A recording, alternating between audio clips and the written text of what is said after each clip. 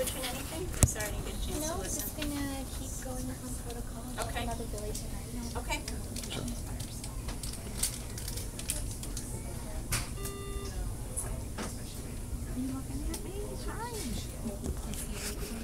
Yes, he is.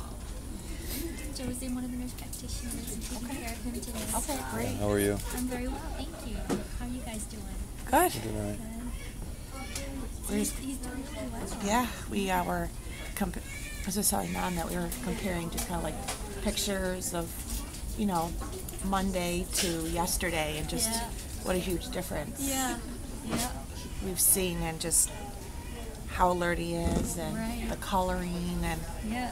Oh, he's yeah. He looks beautiful.